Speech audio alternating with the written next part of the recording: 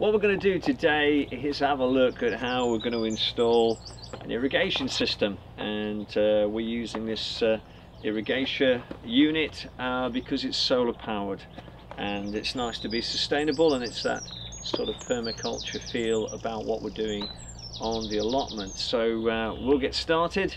Uh, so with this uh, glasshouse there's one or two issues. As you can see there's the glass glasshouse the sun obviously is coming it's actually nearly 12 o'clock so it's due south. And there's a big plum tree there there's a big cherry tree there.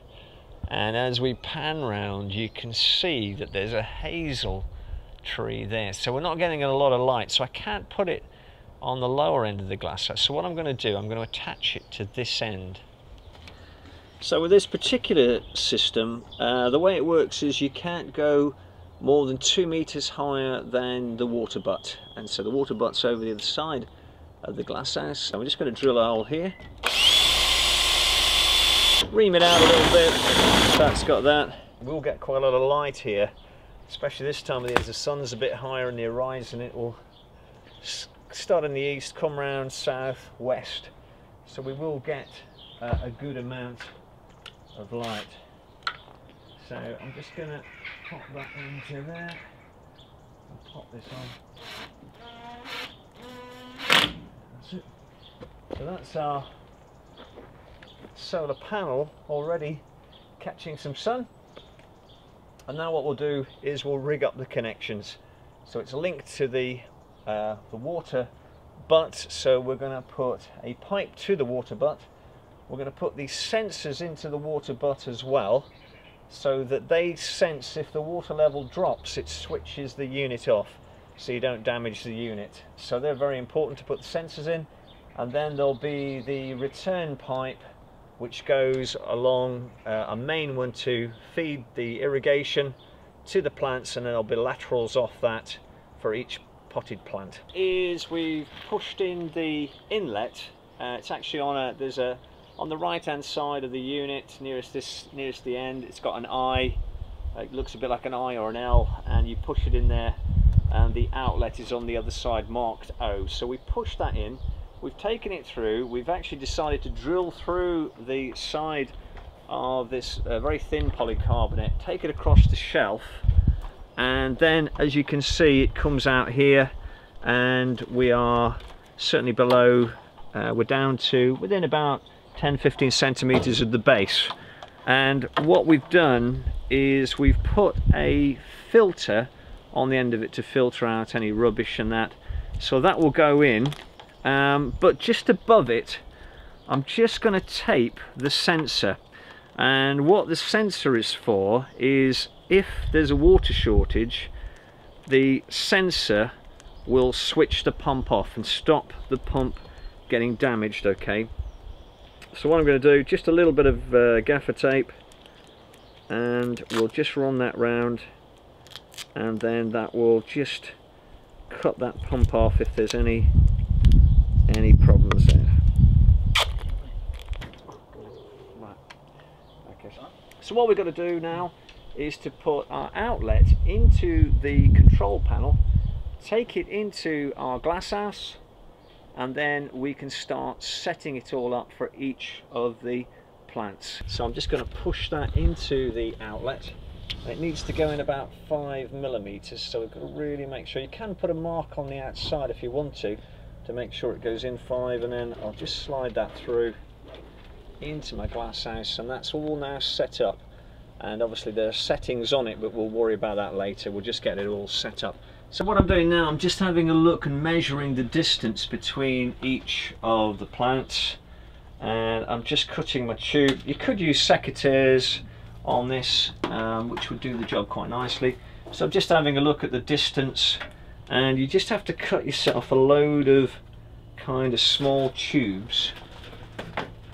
And these are all going to be have little T pieces together.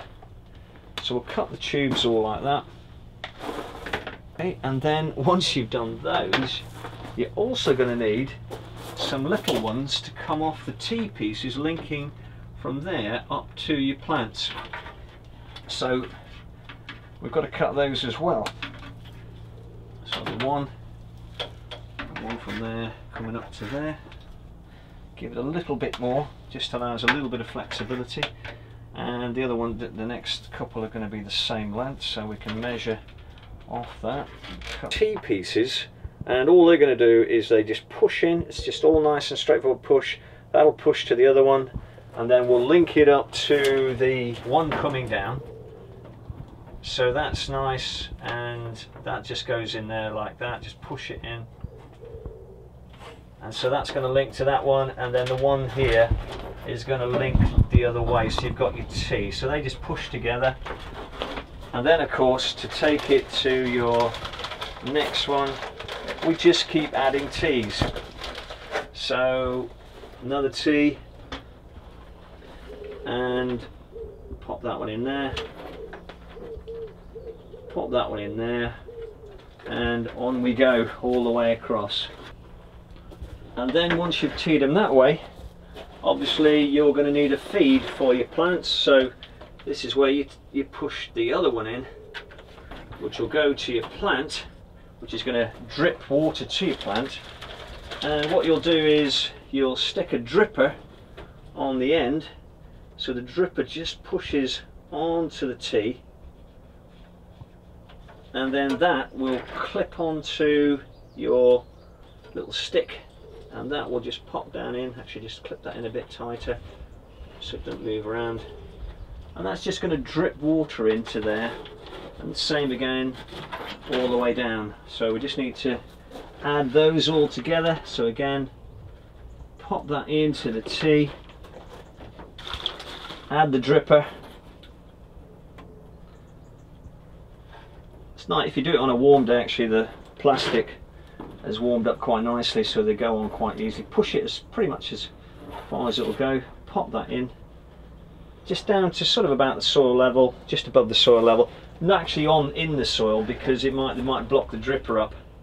And then uh, we'll just carry on. Now just potted up some peppers some cayenne peppers and uh, they'll get a little bit of water. Now we put the last one on is to put the jam jar there and that's just going to check. It's just I like to see just how much water is coming out to get a bit of a gauge on whether we got the right setting or not. So I'm just going to pop that in there and then we'll know how much water has been delivered to each of the plants okay? So we're going to try and switch it on and see what happens. Right here you've got uh, various settings. Obviously on the first one that's a low setting. Because where you can hear it's already beginning to fire up. Now occasionally you do get a bit of an airlock inside them and you have to just get a syringe full of water and squirt it through but I'm hoping that this will work without that. So I'm going to set it on about uh, I set it on about the mid-range. If I had any more pots I'd have to set it right to the maximum. So we'll go and have a look to see what that's delivering. Um, but it's all set up now and hopefully it's starting to deliver some water. Let's go and have a look. So it's starting to drip away. It's just got to fill up all the yeah they're dripping nicely it'll just go around so uh, what you can do on the end one here is we'll have a look and see over a period of time how much water that delivers that's set uh, just putting in a little irrigation system we'll have a look at one or two alternative irrigation systems as well like the ones you can just plug into your outside tap uh, like Hozelock do and that's another way of doing it. It switches on, it allows a valve, allows the water through uh, to feed your plants that way. Um, so hopefully now this is set up that's going to save us a lot of to and fro into the glass houses to water every day.